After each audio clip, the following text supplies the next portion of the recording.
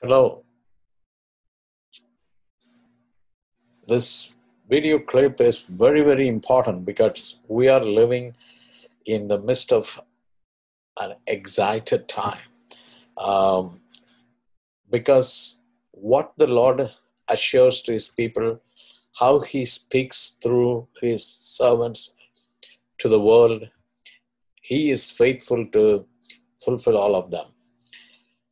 It is not just our own words that we express during our Bible tour that we had last year, August, September 2021, um, visiting 31 states in 30 days. And uh, based on a vision, this was commissioned by the Hub DFW and the leader John Bunn and myself, one of the leadership team members, and Jeff Willard, who is from Kingdom Courthouse. We three took a car and covered almost 9,000 miles in 30 days, starting from Grand Rapids. So the Lord had inspired us to go, depending on Him, trusting on Him, trusting on the Holy Spirit to speak to each and every state, every institution, every prayer group that we met all along our tour. And accordingly, Holy Spirit inspired us to proclaim the word. The things that were very important one, we were to bring down or pray against or proclaim the altar of man to come down and uh, pray, release, cooperate with the Holy Spirit, and receive His unction for the building up of the altar of God. So every man's will should go away and God's will to be established in this nation, America. So, one of the items or one of the many things or many places to visit during our trip was visiting all the Ivy League colleges, universities. So when we physically went there, drove in, and looked at the present condition of the institution, in our natural mind and reasoning, we were a bit discouraged to see the secular reality existing there now.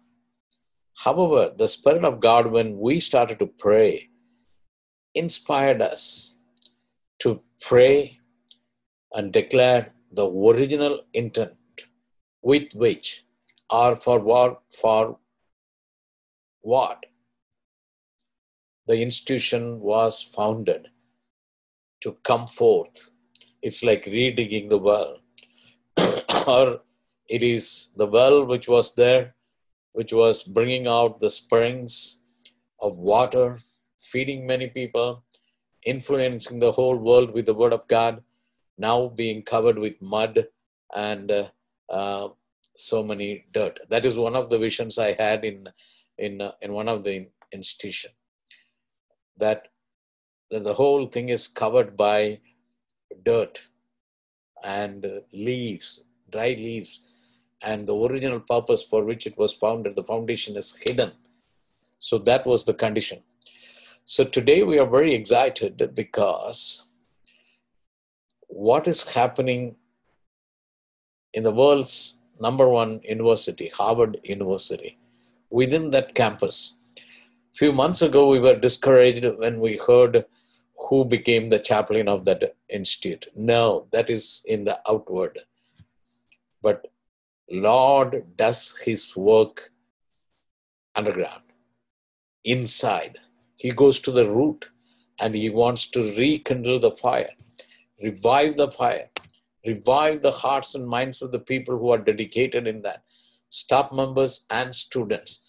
So I'm going to present an interesting video clip which was in the CBN channel just two days ago, for your encouragement so that you will have to continue to pray for the revival of uh, these great Ivy League colleges and other institutions.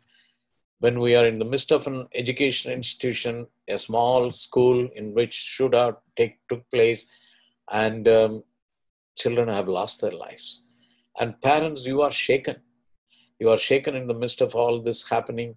So when you desire your children have to go to a great college like Harvard, what do you desire to be happening over there? You can start praying after listening to what I'm sharing with you. So I'm going to share screen. First, I'd like to show you how the Lord led us into this institution and uh, what did we pray? We three leaders, John Bunn, Jeff Willard, and myself. So I'm going to play that prayer first. Okay, you have to hold on for a minute.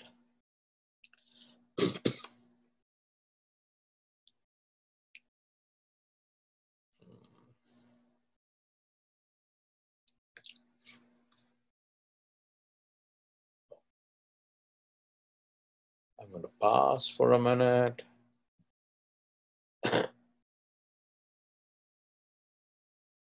You were here in the founders. You were here in these first students. You were the desire to know you, to be known by you, to be educated in truth. It's on the gate right now. The truth. You are truth. You're living truth. You are the only truth. You're the only way. They knew that. They mm-hmm. established this university on truth. Lord, to teach theological truth. Yes. To educate men and women for your glory.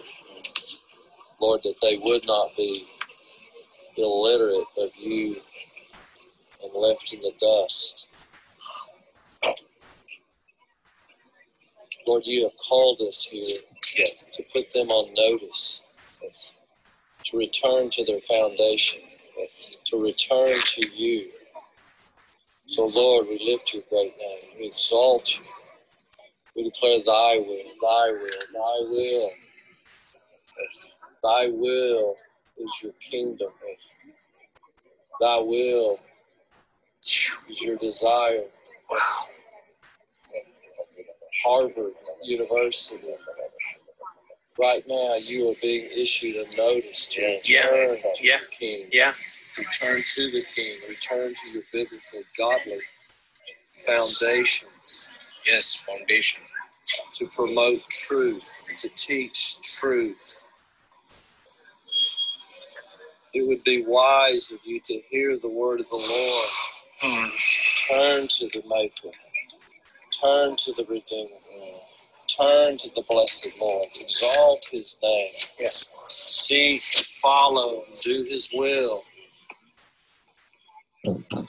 To cease and desist immediately of teaching things that draw the young ones off course. Expel the radicalism of the Yeah. deception and the lie and the wokeism and the Yeah. Fear of man, every fear but fear of you. Yes, Lord. Yes. And in the name of Jesus, we call back the fear of the Lord. Yes. Harvard, that you shall delight in the fear of the Lord, lest you perish. Yeah. Thank you, Jesus. Your endowment does not ensure your continuation.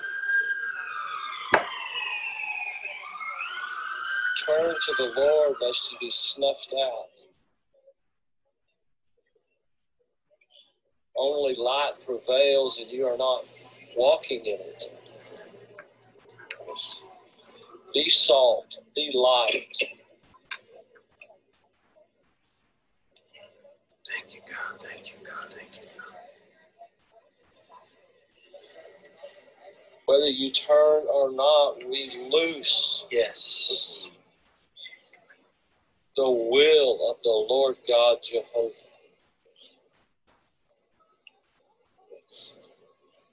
He is marching on. His truth is marching.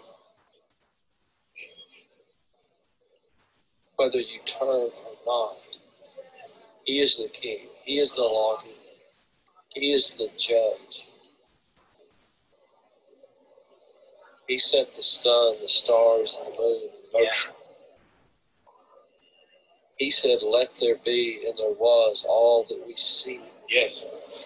Yes. Every mystery you think you have discovered, He created. Mhm. You have exalted your intellect, your own humanism, above the mind, the will, and the knowledge of the Lord God. Repent in Jesus' name. We cry out for mercy for you, mercy, mercy.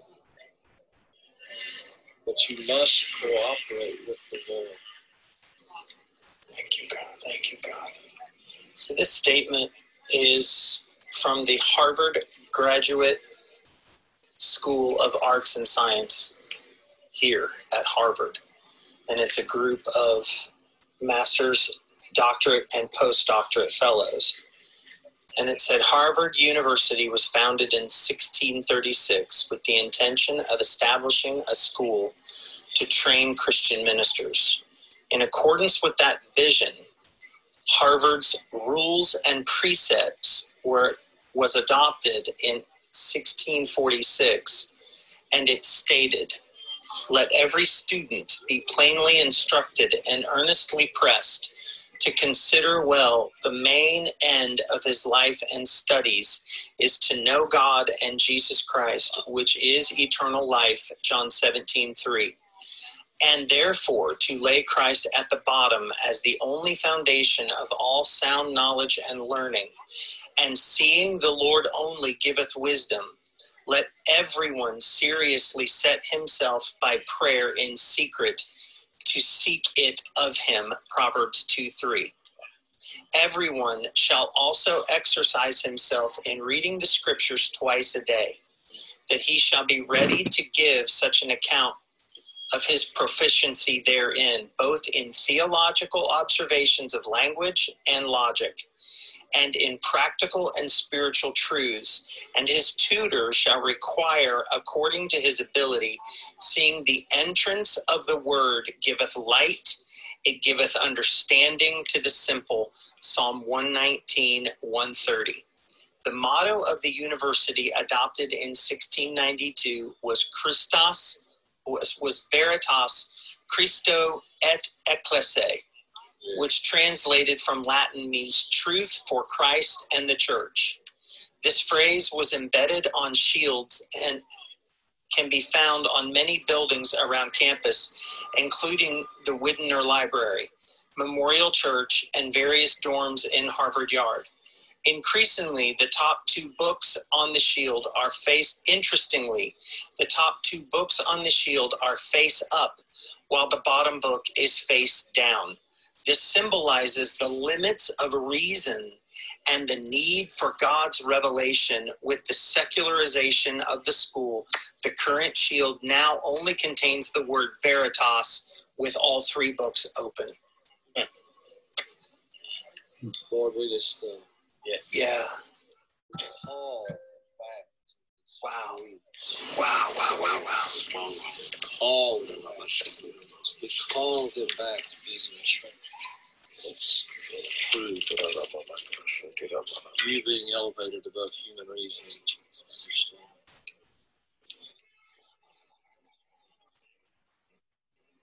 Jesus, we call this school right now, sitting in this yard, over top of these roofs. God, we call forth the original root in Harvard. We call forth the prayers that were prayed when this ground was dedicated. Yes. Yes. We call forth the vision that was in the heart of the founders of this school. are you recording? We call forth, Lord, the destiny of Harvard. It has been hijacked, and we say it will no longer be kept in the hands of the enemy.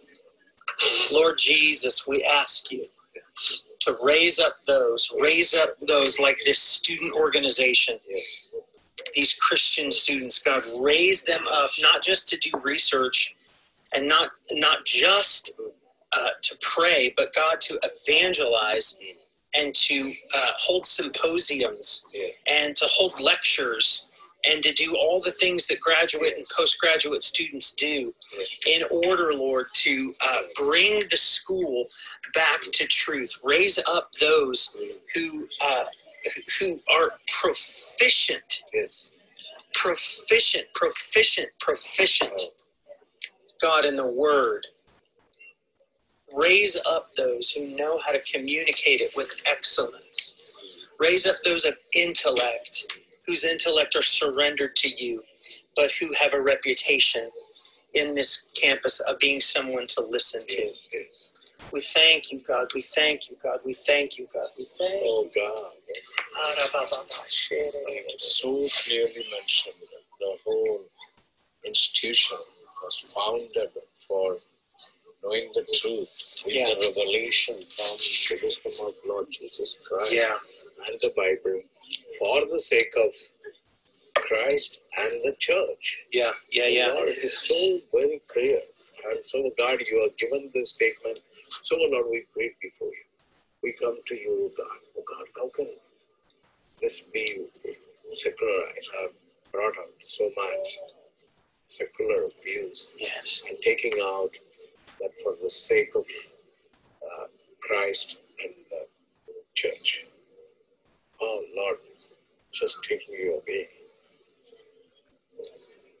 Led this is the institution, although it is topmost, oh Lord, because the foundation it was on you, it reached that top thing. Yeah, yeah, yeah, yeah. Now, oh Lord, with all this pollution, uh, the, the, the, the, the, the God impurity that has come inside of the science Yes. they think is different from you. Science is from the Bible. Science, everything is in your word of God. There is nothing that comes from outside. Whatever comes from outside is filth. It is for man's reasoning. That's why man's reasoning has to be out. It is so clearly stated in the statement how man's reasoning has to be surrendered to you for your revelation. And so, God, this day, as we are seated here, and we have come all the way because you directed us, and we have come to reclaim the foundation. Yes. Reclaim the foundation and bring it out. Oh Lord, we take authority. We, we definitely, because, oh God, we having authority to do that. We do it. Yeah, yeah, yes, yeah. Lord, it is not that we are not educated. We are educated. So, Lord, we know that we have authority to remove man's knowledge cannot do. Yes, It is only yours, O God, yours, that knowledge which comes from you, the wisdom comes from you. We take authority, we got to move all that has come and cover the foundation. We want to read it, we want to see the foundation coming up. Coming up, oh God, you bring such a revival over here that they will Lord, such an awakening has to come that they will, the, all the man's building, altar of man has to fall down and your altar has to rise up. You said you are going to raise up the altar. I am raising up the altar, said, oh God. That's for whole America. It is not only for this particular thing of God, it is for whole America. That's the assurance, that's the thing that you gave. Although God, it started from the courthouse, the vision, but we truly believe altar you are raising it up so lord we want to continue to declare we want to continue to pray we want to continue to seek continue to declare and decree that that foundation the altar of god will rise up Yes. will rise up in Yes. jesus name Yes. God, raise The first prayer was by Jeff Willard, and then was John Bunn, and then thirdly myself. So you would have felt that how much we were burdened. We were filled with that, with that, you know, heaviness uh, of the surroundings or how the institute has become and at the same time with an assurance we called out, proclaimed, declared that the foundation will be reclaimed or it will be visible. Christ will be again the cornerstone and the foundation for this institute. And it should not be all this filth which has covered, man's reasoning which has covered should go away. We prayed and came out. It's not because we prayed something happened, beloved. I want to now play to you the latest news that we happened to watch in the CBN uh, news channel. Very interesting. And it gave such an encouragement to me. And so I want to share with you. So I'm going here to, uh, you know, I need to share the screen. So it has to, I think, I always go like this and I go like this and uh, yes uh, this is about the orphanage situation in uh, now this is CBN's uh, children's ministry in Africa. So here comes our uh, next. Oh, what is the sound? Just a minute, please. Spirit. It's not at a church or spiritual retreat. It's all happening at Harvard University's law school. CBN's Mark Martin brings us that story from Cambridge, Massachusetts. We pray all of these things in Jesus. Amen. On a Tuesday night at Harvard Law School, you might expect to see study groups involving case law or researching legal precedents. These students, however, are studying the Bible. First year law student Matt Chun says he was pleasantly surprised to learn how vibrant the Christian community is here. It's been incredibly encouraging for me uh, being involved with Christian Union, small groups, uh, and even going to church with my classmates um, and going to prayer in the mornings. Uh, it seems like there's Christian programming almost every day and tons of ways to get plugged in and involved. As a ministry director for the organization Christian Union, Justin Yim leads the Bible study. We know that God is not dead at Harvard, and uh, we see God moving uh, powerfully. And we sense, if you speak to some of the other campus ministers on campus and some of the students, there's something happening underneath. Third year law student Chrissy Annunziata says she expected it to be tough as a Christian here, yet found her faith flourishing after seeing Jesus move in so many ways. I've seen people come to Christ. I've seen, um, you know, people receiving the Holy Spirit and I've seen healings. I mean, and it's just incredible to me, like the community that is here, because it's not just the law students. When we host events, I mean, we have people coming across the different master's and doctoral programs across the campus, and a lot of them in the science fields, engineering, computer science, things like that. Third year law student Mariana Marquez and her husband Jacob Hawkins at Harvard Kennedy School of Government grad started a weekly miracles, signs, and wonders workshop. They say participants have witnessed the miraculous. At the end, he, he was like, Oh, well, I don't know if I can ask this, but um, I have one leg that is shorter than the other, and I have back pain and all of that. And uh, so he asked for prayer, and um, we had a student in, in the workshop just pray and command that leg to come even out in the name of Jesus. And we all literally saw it as he was commanding the leg to grow out in the name of Jesus. It was growing out and it just evened out. We've seen Jesus cast out demons out of people, and you know we've been we've been participating. Right? We've, we've been saying in the name of Jesus, get out. Um, we've seen demons leave. We've seen people being freed from anxiety. We've seen someone with a, a really bad jaw, uh, like a locked jaw. Um, Jesus like healed healed her jaw. We're gathering together across ministries, uh, across the graduate schools, coming together, worshiping together, praying together, and we're all pressing in for the same thing. We want we want to see Christ lifted high and exalted, and we want to see revival on, on the campus. Yim says the Christian presence is not out of character here. when you think about the history of Harvard University in and of itself, that it started out as a place where um, you know men were trained for the Christian ministry, right? So it is harkening back to its original roots. So we know that God has worked here before, and we know that God is working. Christians at Harvard Law School can also find support through the program on biblical law and Christian legal studies. The office is located in the building behind me, and according to its website, the program integrates law, leadership, and life built on a foundation of biblical wisdom and truth. It's that combination of, of teaching and scholarship and also building up um, and discipleship of, of believers who are here. Um, it's just been very encouraging. We can't clearly get a full picture understanding of the law without understanding the biblical principles behind it. The intersection of Christianity and the law is just so important.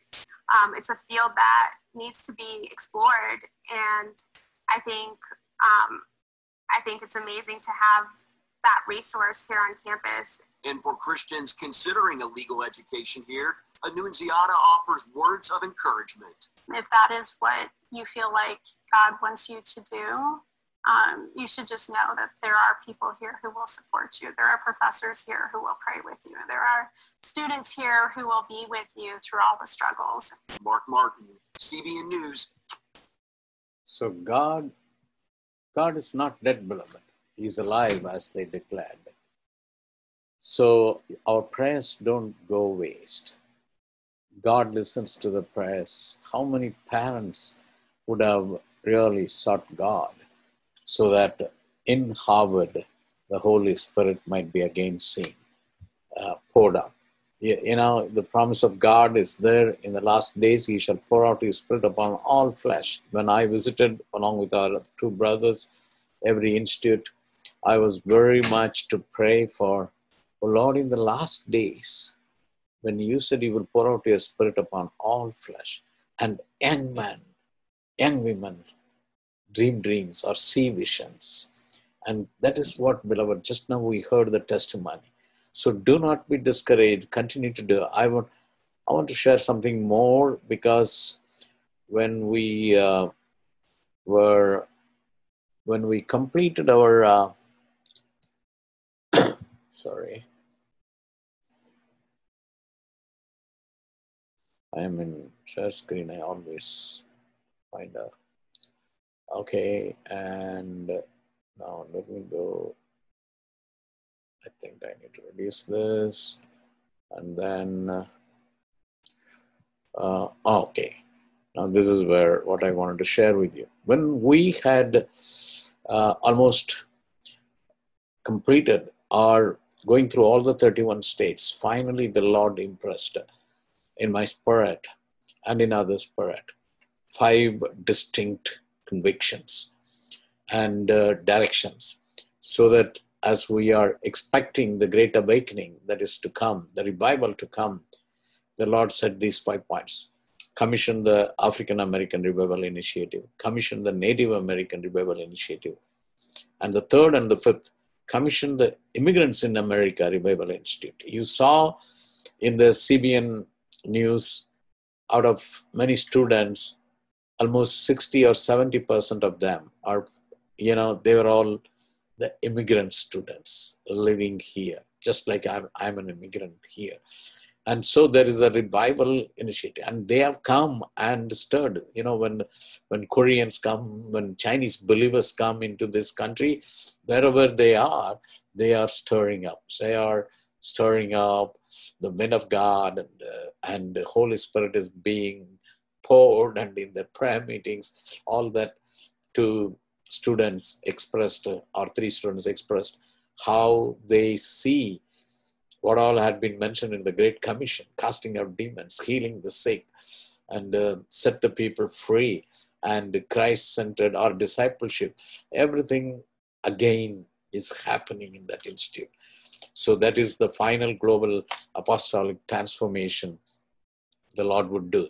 So we are following up with all these five uh, uh, convictions, and we want to see how the Lord is going to really um, do similar work in other universities too. in Cornell University, I heard a news which I have not yet got the clip to present to you.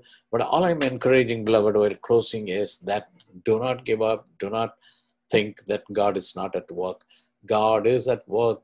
God hears our prayers, whatever you declare, believing in the Lord. And you know, that mission was a special mission for us in 30 states to declare some of the things. I have already um, put in three clips in which what all the Lord uh, caused us to pray or led us to pray, how they came through. Virginia flipping was one of the main thing. Native Americans revival second, African American revival third, and now Harvard University getting revived.